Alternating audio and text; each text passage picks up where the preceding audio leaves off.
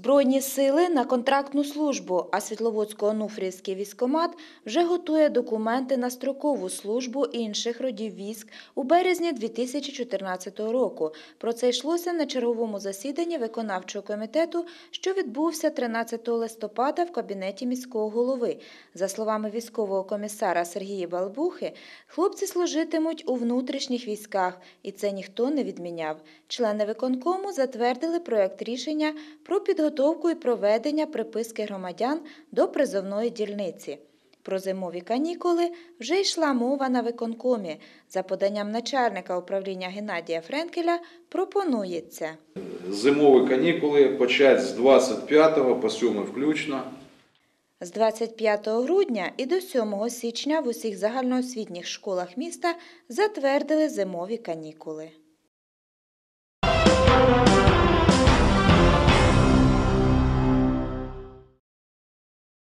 12 листопада у Світловодську пройшла акція з прибирання вулиць міста від бруду, сміття та листя. Завдяки залученню спеціальної техніки та чималої кількості людей, в тому числі працівників бюджетних установ, ретельно було прибрано автошляхи та узбіччя доріг, тротуари та газони, набережна та інші зелені зони нашого міста. Почуттям обов'язку та любові до рідного міста взяти участь в акції. Саме таке завдання поставили перед собою і працівники управління культури і туризму Світловодського міськвиконкому. Змінивши свій звичний дрес-код і переодягнувшись у робочий одяг, вони із задоволенням прибирали вулиці, причому із неабияким завзяттям та піднесеним настроєм. Ви знаєте, настрій чудовий.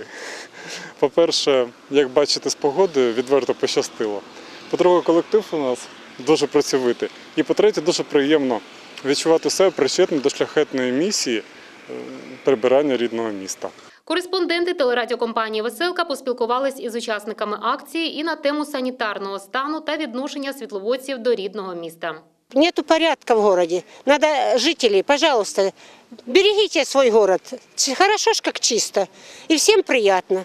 Пожалуйста, будьте бдительны. Не бросайте окурки, не бросайте бумаги, конверты, пакеты. Будьте добры, мы вас очень просим. Можливо, якби пересічні світловодці частіше особисто брали участь у подібних заходах, їх би не довелось ні умовляти, ані змушувати берегти чистоту. Тетяна Головачова, Олександр Вергун, телерадіокомпанія Веселка.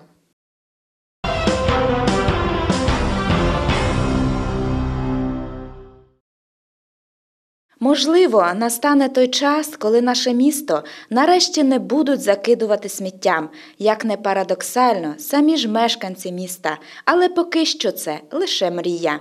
Коли дивишся на такі купи бруду, мрія здається неосяжною. Це територія біля школи-інтернату. Працівники разом з дітьми висадили дерева, а в яру розсадник інфекції. Та найприкріше те, що цей яр в районі спецстрою засипають мотлохом як жителі приватного сектору, що вже й не дивно, так і, як з'ясувалося, прилеглі установи, ба більше піймали на гарячому одного місцевого громадського діяча. На сполох вдарив міський голова Юрій Котенко, який особисто вирішив перевірити результат оголошеного суботника та як вивозиться сміття. Під час чергового рейду Юрій Миколаєвич був вражений побаченим та запросив нашу знімальну групу показати ще один прояв цинізму мешканцями нашого міста, як кажуть, коментар зайвий.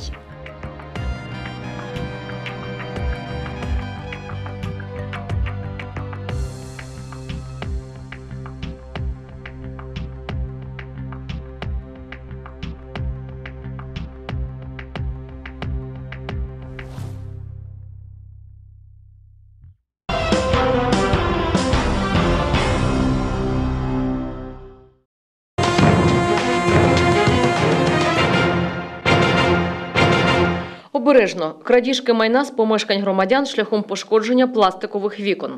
Протягом жовтня місяця в місті Світловодськ почастішали випадки здійснення невідомою особою крадіжок майна з помешкань громадян шляхом віджиму вікон пластикового пакету. Ці злочини співробітниками слідчого відділення Світловодської міліції занесено до єдиного реєстру досудових розслідувань. Для виявлення злочинця проводиться низка оперативно-профілактичних заходів, здійснюється також попередження попереджувально-профілактична робота з неповнолітніми, раніше судимими особами, наркоманами та іншими особами, які потребують постійного контролю та профілактичного впливу.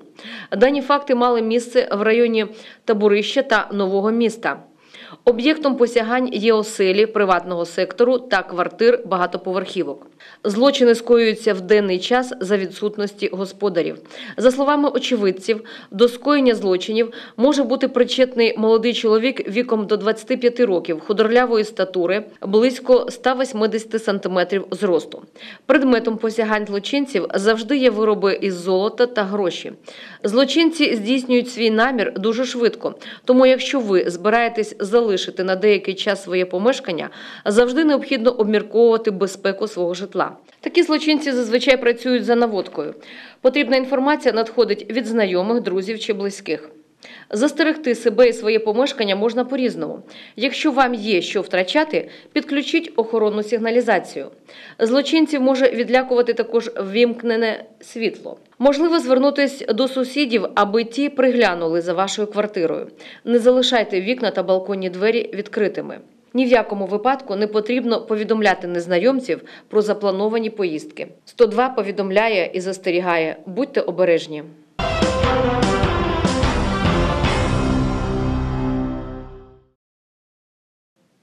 Православний просвітницький центр Свято-Покровського собору, який очолює мітрофорний протоієрей отець Віталій, виступив з ідеєю проведення серії зустрічей представників духовенства з освітянами та представниками культурницької галузі міста.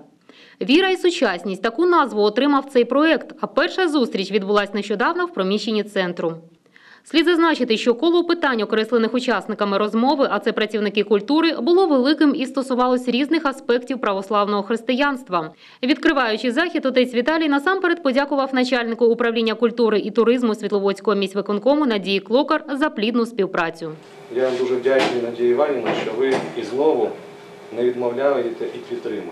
Тому що в вашому лиці я побачив людину небайдужу до того, що буде в нашому місті, до того, що відбувається в нашому місті. Мені це дуже як священник, як просто молодій людині, яка вірить у наше спільне, щасливе, Богом благословенне майбутнє це не просто слова. Це повністю те, чому, наприклад, кожен із тих, хто служить Богу і присвячує своє життя. Але ми не можемо зробити самі все. Ми не можемо, і в нас немає тієї сили сьогодні серед саме підтримки от такої необхідної, яку ви даєте. Тому завдяки вам, через вас, ми можемо будувати щось прекрасне, достойне. Тому що не просто Бог будує, Бог все робить через нас, через кожного з нас. Де б ми не були, ми залишаємо слід. Який цей слід буде? Якраз і залежить від того, що у нас в серці, що у нас у душі, що у нас разом. Безумовно, важливою місією священнослужителя є його просвітницька діяльність. Яскравим прикладом чому стала і ця зустріч, яка продемонструвала зацікавленість всіх сторін у відродженні культурних та релігійних традицій нашого народу, розуміння важливості духовно-морального виховання молоді як запоруки благополуччя кожної особистості та держави в цілому. Продовжуючи спілкування, отець Віталій запропонував присутнім відповісти на головні питання: чи потрібна віра сучасній людині і що вона їй може дати. Чому ми часто перед питанням віри зупиняємося? Інколи виникає страх почати щось робити. Інколи захоче в храм Божий, ми сумніваємося. Ми не розуміємо те, чому вже тисячі років. В чому проблема? От хотілося б нам сьогодні почати цей діалог, тому що ви представляєте культуру нашого міста, України взагалі. Чому? Тому що через вас люди бачать традиції нашого народу. Завдяки вам вони організовуються, налаштовуються і навчаються завдяки вам творити прекрасно. І якщо ви поставлені на ці місця, важливі, ключові, я вважаю, то хотілося б, щоб ми з вами, розумієте, не тільки говорили тільки в ключі кожен свого фаху, своєї професії. Щоб ми завжди розуміли, де б ми не були, там є і наша душа, там є і наша мораль, або брак її. Християнська мораль, стверджуючи людську гідність, любов до ближнього, розвиває в суспільстві людяність, гуманізм, є основою високої культури. Саме тому співпраця церкви та світловодських закладів культури у вихованні підростаючого покоління, на думку Надії Клокар, є надзвичайно важливою. Е, У нас е, відбувається процес побудови нової незалежної держави. І це зрозуміло, що дуже багато політичних течій, е, всіляких уподобань, групувань між людьми. Тобто немає такої єдності духовної, перш за все, яка б сприяла більш скорішому становленню нашої держави. І чому ми погодилися? Тому що я вважаю, що саме працівників культури, е, також як і ви, паночі, проводять величезну роботу щодо об'єднання е, народу, спільноти, ну в даному випадку наших мешканців нашого міста навколо ідеї зміцнення нашої держави і, зокрема, нашого міста. І проводять роботу також духовного напрямку. Тут представлені і бібліотечні працівники, е, школи естетичного виховання, міський палац культури, які працюють з людьми, які створюють е, в місті атмосферу духовного Єднання. Визначення ролі релігії та церкви в суспільному житті нашої держави залишається актуальним і на сьогодні, про що свідчать питання, які піднімалися учасниками круглого столу. Але працівники культури, які зібралися цього дня в православному просвітницькому центрі, обговорюючи нагальні проблеми виховання та освіти в суспільстві, відродження культурних та релігійних традицій нашого народу, були єдині. Єдині в розумінні того, що ключ до вирішення багатьох проблем лежить саме у площині плідної взаємодії церкви, сім'ї, закладів культури та освіти у справі виховання підростаючого покоління.